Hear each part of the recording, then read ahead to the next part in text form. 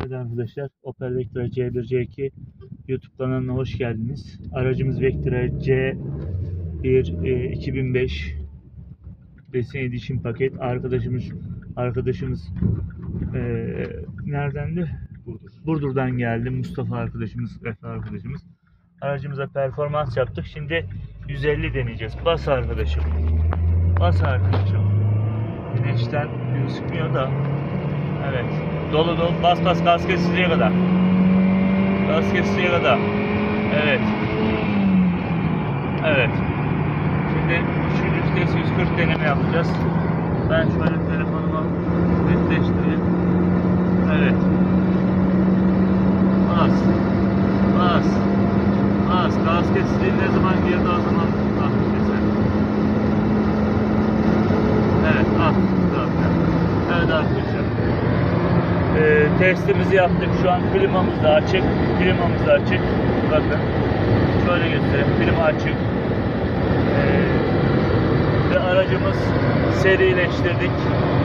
Ee, diyeceklerim benim bu kadar. Yani fazla bu- benim konuşmama gerek yok. Şimdi e, arkadaşı yoruma bırakıyorum. Yorumları arkadaşa bırakıyorum. Evet Mustafa kardeşim. Yorum sende. Camı kapat görülür dedi. bir Evet. Performans artışı var. Evet. İkinci viteste klima açık kalkabiliyor. Üçüncü viteste arabanın kavraması gayet iyi durumda. Şu anda. Evet. Gaza bastığımızdan da 1.6 olmasına karşın arabada bir öne doğru ataklaşma Zıplama var öne doğru. oluyor. Evet. Bu da hem performansının iyileştiğini hem de aracın gidişinden de belli oluyor.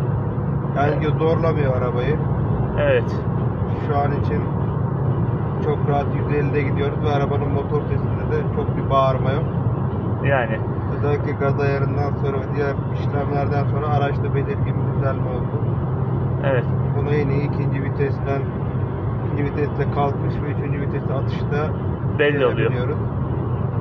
Evet. Hızlandırılmasını arttırıyor. Fatih abiye teşekkür ediyorum bilgisi için. Işıklardan dönelim. Evet. Yani çok ben e, beni tercih ettiği için çok teşekkür ediyorum arkadaşlar. E, herkes de beklerim. Kanalıma abone olmayı ve bizleri takip etmeyi unutmayın. Opel Vectra C1 C2 tamir bakım Facebook, YouTube, WhatsApp kanalına abone olmayı unutmayın. Tabi ara ara linkleri paylaşacağım da şu aralar Facebook'um donduruldu. Yani güvenlik nedeniyle kısıtlandı. Bir işlem yapamıyorum Facebook'a. Ee, kısa zaman içinde tekrar sizlerle aranızda olacağım. Bilginiz olsun. Ee, kanalıma abone olmayı ve bizleri takip etmeyi unutmayın. Hayırlı günler dilerim.